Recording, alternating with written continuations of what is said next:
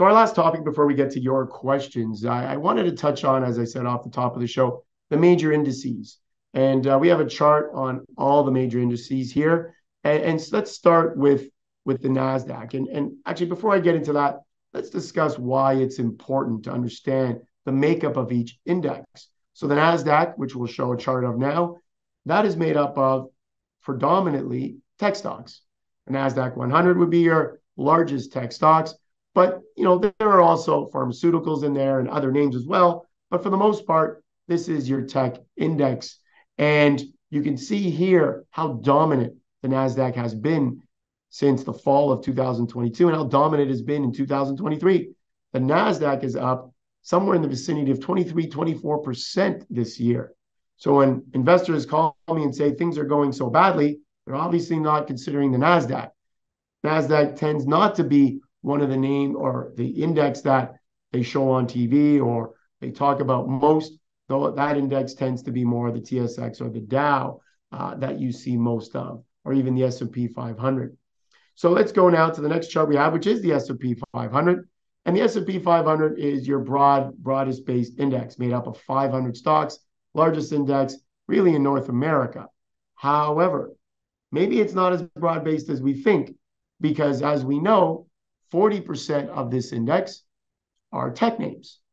If you count information technology, then this is even a larger amount of the index. So you can see here with the Nasdaq up 23, 24%, S&P 500 up somewhere around 9%, 9, 10% for the year. Obviously, tech stocks have definitely carried, as we discussed earlier in the show, the market breadth. Tech stocks have carried this index higher. So if you want to track how markets are doing, how mm, uh, basically your portfolio is doing, what do you want to compare it to? I think you compare it to the S&P 500. It is the mo- most broad-based index and the one that I compare, and most money managers compare portfolios to. The next, uh, I guess, chart that we have is your S&P TSX, so your Toronto Stock Exchange. And you can see here uh, about just under 20,000, give or take, uh, at the time when we took a picture of this chart. It's obviously changed since then. And TSX up about 3% year to date. And again, what is the TSX made of? Well, it's made up of bank stocks, which is its largest holding, oil, which is its second largest holding, and third, materials, gold in particular. And those three sectors make up 70 to 80% of the index. And all the other stocks make up just 20%.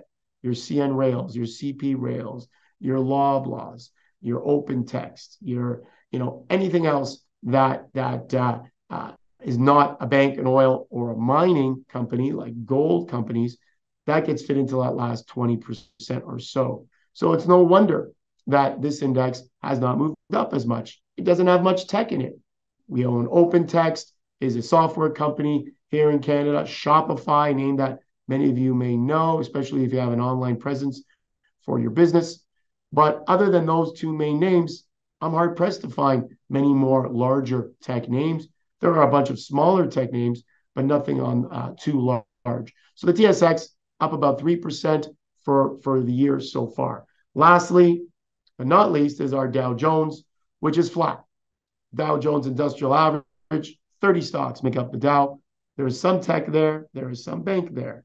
There's a, a mix of a few different sectors in the, the Dow Jones. And unfortunately, the Dow Jones number is, is broadcasted probably the most and um, it probably has the least bearing on anyone's portfolio because it's only 30 stocks. So maybe someone has one or two names out of these 30 stocks, but not much more. So try not to focus too much on the Dow, even though that is the number or that is the index that is probably uh, broadcasted the most, along with the TSX. So before you get nervous or get excited, depending on what's going on with the, the markets, with the indices in general, understand what it makes up these indices and where your stocks may fall under. Which index does your stock or do your stocks fall under?